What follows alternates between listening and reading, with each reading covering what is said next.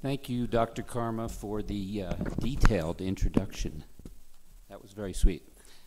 Uh, Your Excellency, the Prime Minister, respected dashos, honored guests from near and far, and faculty and students of JSW School of Law, Kuzuzangpo la, and welcome. I hope that all of you are as excited to be here as I am. My name, as has been mentioned, is Eric Lemelson. I am the president and founder of the Karuna Foundation. Tell me if I need to get closer to the mic. Sorry. Um, we're a, a, small private charity based in Portland, Oregon, in the United States. Uh, we focus on climate change and we work exclusively in Bhutan, as I will explain.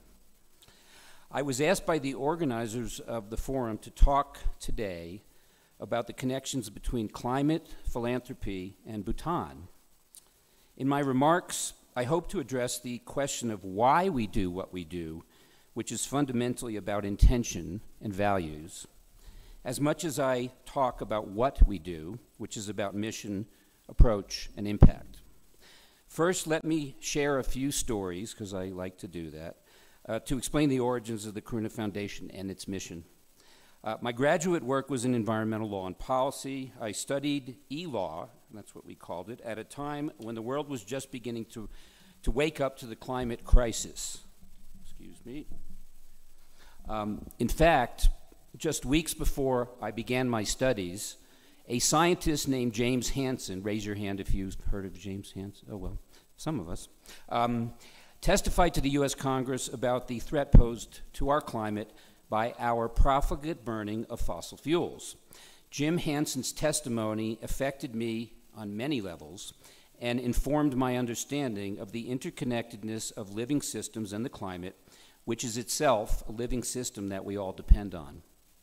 I started the foundation years later because I recognized that the responsibility for anthropogenic or human caused climate change lies primarily with the developed world and the path we chose to industrialization.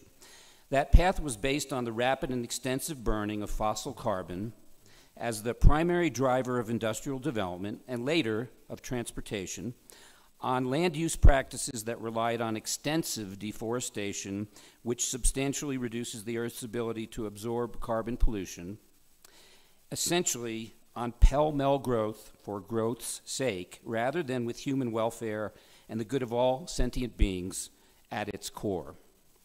In recent years, we have learned through the media that government and private sector scientists understood the causal connection between fossil fuel based economy and climate change as early as the 1960s. Yet, our leaders, excuse me, our leaders failed to act decisively when the damages from climate change could have been largely averted by wise leadership, innovation, and especially buy in from an informed public. Today, we recognize that the developing world, which is least responsible for the problem, is suffering the worst effects of climate change. This recognition is at the core of what we now refer to as climate justice and was the central motivation for me to establish the Karuna Foundation. To put it simply, with an awareness of the connection between the developed world's choices and the suffering and disruptions in the lives of all sentient beings that are occurring around us, comes the realization that we have a moral and ethical obligation to act. In gathering my thoughts for today, I read a short book by His Holiness the 14th Dalai Lama entitled Our Only Home A Climate Appeal to the World. It will not surprise any of you to know that His Holiness distills the core of what we now rather belatedly are calling the climate emergency into clear and simple statements that everyone can understand. I would like to share a few of those statements with you as I continue. On a responsibility to the earth, His Holiness states, and I quote, Religion should not be limited to praying. Ethical action is more important than prayers. Caring for the earth is our shared responsibility, and each one of us has a moral responsibility to act. The word karuna, I, I chose it, it means compassion in Sanskrit. For want of a better word, the motto of the Karuna Foundation on our business cards and our little website is compassion through action. This simple phrase and the foundation's name came to mind somewhat intuitively. Reading His Holiness's book over the last few weeks, I now understand more fully what my in- intuition was trying to share with me some years ago. When I started the Karuna Foundation, I selected a board of directors who, like me, understood the developed world's moral and ethical obligation to help reduce suffering in the developing world. Together, the board and I chose Bhutan as the one place on earth we wanted to work. Why was that? I first visited Bhutan almost 20 years ago when a friend and I trekked in the mountains north of where we are right now. We were awed by the country's beauty and exceptionally intact ecological diversity. Since I was a teenager, I felt deeply connected with core Buddhist values of reverence for nature and compassion for all sentient beings. Over time, I came to realize that Bhutan's ecological diversity and intact culture are the result of the wise leadership and the right intentions of Bhutan's royal family, as well as the embodiment in Bhutan's political leadership of good governance principles, a commitment to social justice and Buddhist values. In short, Bhutan was the obvious place for the Karuna Foundation to seek to apply our values in service of the Bhutanese people and the kingdom in the climate adaptation arena. Since the beginning, we've worked with Bhutanese partners as we seek opportunities to be of service in helping Bhutan and its people adapt to a rapidly changing climate. We also seek to help the people of Bhutan live healthier and better lives. Our early work, early grant making, focused on identifying local partners and doing a lot of listening. I found that humility is an important Bhutanese value, and that humility informed our work. Some of the first grants were focused on capacity building and direct support of Bhutanese CSOs working on climate. Next, came a network of climate, weather, and phenology data collection stations located at primary schools and created by the Ugyen Wangchuck Institute for Conservation and Environmental Research. Is that a mouthful? Uh, also known as UWICER. We funded this network out of the Foundation's desire to fill gaps in Bhutan's collection of climate data, as well as to add to Bhutan's understanding of the local and regional impacts of a changing climate. Under the auspices of what became known as the HEROES program, I'm not going to get into the acronym at the moment, uh, primary school kids collect climate and weather data while learning the fundamentals of climate science and understanding the impacts on Bhutan's ecosystems. Eventually, the program led to the inclusion of basic climate science in the national school curriculum. In more recent years, we focused on helping Bhutan learn about and adopt energy efficient design and building techniques so that the Bhutanese people can live healthier and better lives while conserving economically important electricity from hydropower and assuring that Bhutan remains carbon neutral as it develops. Energy efficient homes and businesses are much healthier, healthier to live and work in. I've been in quite a few Bhutanese homes, and they're pretty cold in the winter, but they don't need to be. That's the message. Studies have shown that energy efficient homes and businesses lead to more happiness, in the home environment and greater productivity at work. In addition, the building sector uses 42% of the total power consumed in Bhutan, and this is something I didn't know till a few days ago. I read a, uh, another study. Uh, Bhutan purchases a significant amount of coal generated power from India, especially in the winter. That's about 15% of the total energy mix uh, that Bhutan uses during the year. That's because in the winter, as all of you know, river flows are at their minimum and power production is cut. In other words, widespread application of energy efficient design and construction principles and practices across Bhutan will significantly reduce the kingdom's carbon emissions, ensure that Bhutan remains carbon neutral, and will increase gross national happiness. We've been deeply involved in the design and construction of the JSW Law School campus since the beginning of the project in 2015. Our goals from inception were to share key principles and technical knowledge about energy efficiency with Bhutanese professionals, help create or help begin to create a cadre of architects, engineers, and contractors who can apply these principles across Bhutan, and provide the kingdom with a lighthouse project that can serve as a teaching tool and source of inspiration.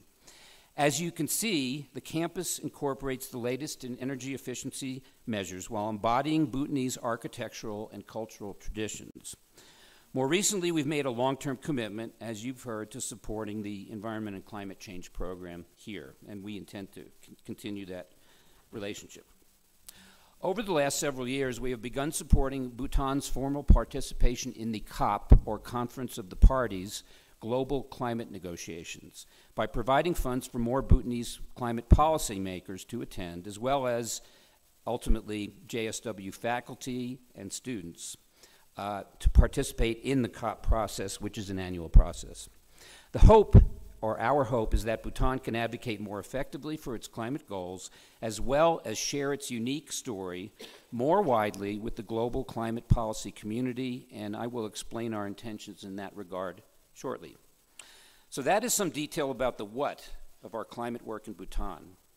I will now attempt to connect the dots by sharing my perspective on the role of philanthropy in solving social and environmental problems, as well as more specifically in working to reduce suffering linked to the climate crisis.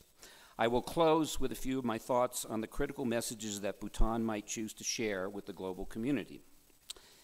In my opinion, philanthropies exist to embody and actualize the values of compassion, caring, and altruism that define us as humans. In other words, to be of service to the community writ large. Philanthropies receive favorable tax and legal treatment under the laws of many countries. These policies are designed to enhance their ability to be effective change agents. I believe that philanthropies should aim to be servants of the people, to paraphrase a uh, Ukrainian leader who's in the news a lot lately. At their best, philanthropies can take risks in supporting innovative organizations, programs, and approaches that other institutions in society are unable or are simply unwilling to take. Small philanthropies, in particular, can be flexible, nimble, opportunistic, in the best sense of that word, in part because they are not hamstrung by excess, excessive process or structural issues. Philanthropies, in short, succeed when they are good listeners, when they are driven by local needs and local priorities, and when their intentions are pure. I believe that we are at a crossroads in the climate emergency. While renewable energy has become the lowest cost form of power in much of the world, an incredible development which is leading to much more rapid decarbonization of our energy use than previously forecast, relatively little attention has been paid and little funds allocated to the need for adaptation research and application in developing countries, including Bhutan. The first steps towards progress in resolving the difficult issue of loss and damage are only now beginning to be discussed in international negotiations. While philanthropies cannot close these gaps on their own, they can lead, to, they can lead some of the discussions, take the risks, and choose to fund the work that ultimately leads governments, multinational institutions, and the private sector to act. I'd like to close by sharing a wee bit of my personal vision about the critical and timely messages Bhutan might choose to share ultimately with the global community as part of its contribution to solving the climate crisis. Once again, I would like to quote His Holiness, this time on the subject of forests. And I quote when the forests die, a whole nation suffers. And when a people suffers, the whole world suffers. We need forests for our health as well. When we go for a walk in a forest, fresh air is healing. I think we all know what that feels like. We need green forests. They are nature's great gifts. Forests are good for our soul. In the forest, we find calm that our brain needs for regeneration. Forests are water reservoirs home to many animal and plant species and are important as an air conditioning machine that we don't have to plug in. They are a mirror of the diversity of life. Under the wise leadership, leadership of His Majesty the Fourth King of Bhutan, the kingdom made it clear its commitment to long term preservation of intact forests, forests that we now understand are critical to sequestering carbon. Bhutan codified that commitment in, in its constitution, and that, honestly, that's, that's something that still amazes me, because I'm not sure it's happened anywhere else in the world. Today, Bhutan continues to take that commitment seriously through planning, scientific studies, and enforcement. I believe the importance of this commitment to global efforts to save the Earth system for future generations cannot be overstated. In fact, it's a message that can and should fundamentally change the approach taken by both the developing world and the developed world, where, believe it or not, we still engage in massive deforestation, um, to forest management, pointing the way towards a sustainable climate future. Forests are life, as His Holiness recognized. By preserving its forests and working seriously to integrate carbon neutrality into development planning, Bhutan has showed leadership that few nations can match. While challenges certainly lie ahead and the future will contain many surprises, all of us should work to assist Bhutan as it maintains good intentions and right action in the years to come. I will close with one last passage from His Holiness's book on climate and leadership, and I quote Perhaps you should lock up the world's most important politicians in a room for a while and pump carbon dioxide into it until they realize what climate change really means. Then they, they would probably very soon feel what greenhouse gases are doing to us humans. I often have the impression that politicians do not take climate change and the, and the environment seriously enough. Ignorance is our number one enemy. From everything I have witnessed over my years of coming to Bhutan, Bhutan doesn't need to lock up its leaders in that room. That's why the Karuna Foundation is committed to the kingdom and why Bhutan can address the climate emergency and share its learnings with the global community in a modest but very powerful and very important way. Thank you for your time today.